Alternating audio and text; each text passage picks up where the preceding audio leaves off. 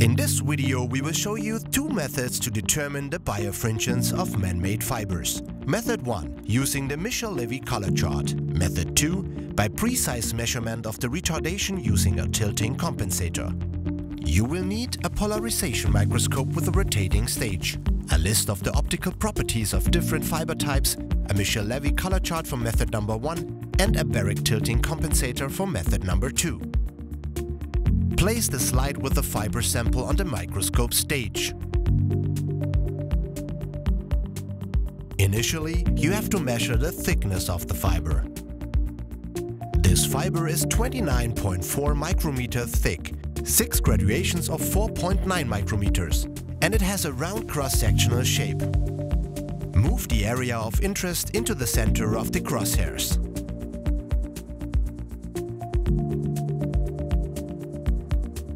Insert the polarizer and the analyzer.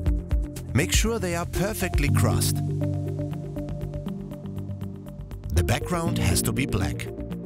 Rotate the rotating stage to find the extinction position, so that the fiber appears dark. Lock the stage position to activate the 45 degree click stop of the stage and rotate the stage by 45 degrees, one click, to move the sample into the bright position. This fiber has intense interference colors, hence it has a medium birefringence.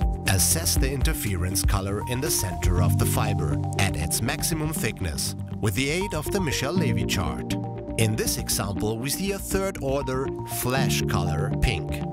In the color chart find the point where the sample thickness line, approximately 30 micrometers, meets our third order pink.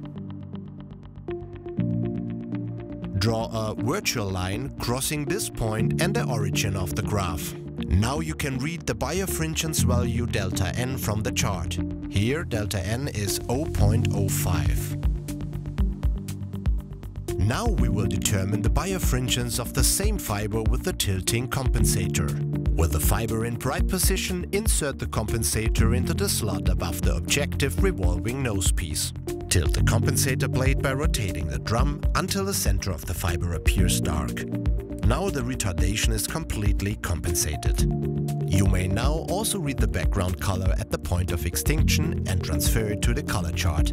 However, we will continue with the precise calculation of the birefringence. Read the compensator value at the compensation position. Here 8.7 degrees. Note this value down as I1.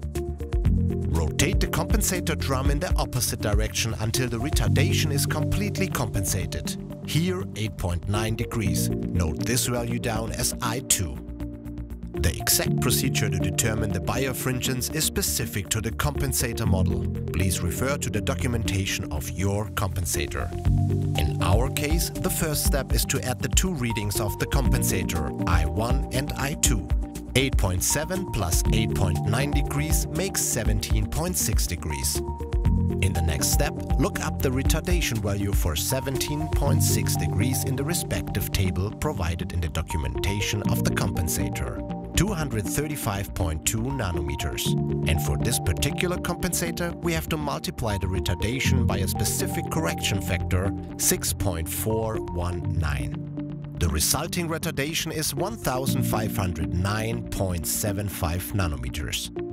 Now we can determine the birefringence by dividing the retardation 1509.75 nanometers by the thickness of the fiber 29,400 nanometers. The resulting birefringence is 0.051.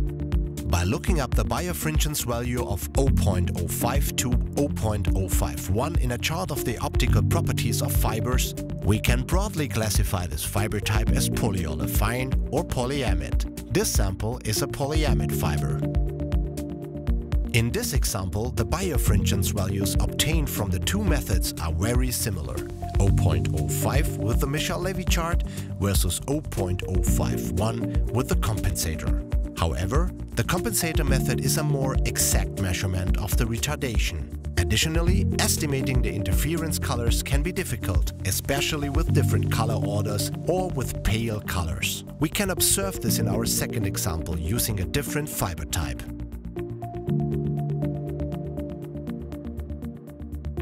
Firstly, find the extinction position, lock the stage and rotate the fiber to the bright position. This fiber has a diameter of 34 micrometers and shows a homogeneous first-order gray interference color. Thus it has a low birefringence. In this case, it is very difficult to determine the exact color shade on the Michel-Levy chart. We read a delta N of 0.007. Now we will also determine the birefringence of this fiber with the tilting compensator.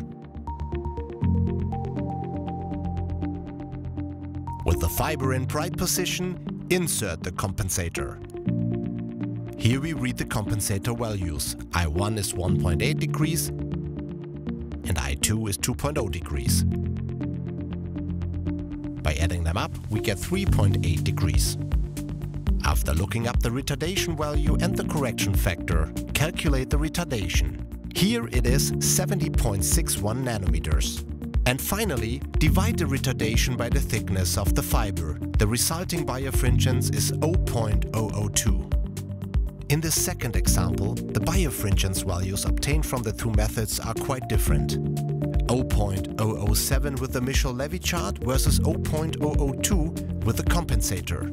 This is because an error in the estimation of the interference color can have a big effect on the birefringence reading in the color chart. Accordingly, for the classification of the fiber type, rely on the more exact measurement. The birefringence obtained with the compensator. The birefringence of 0.002 points towards acetate or acrylic. This is indeed an acrylic fiber.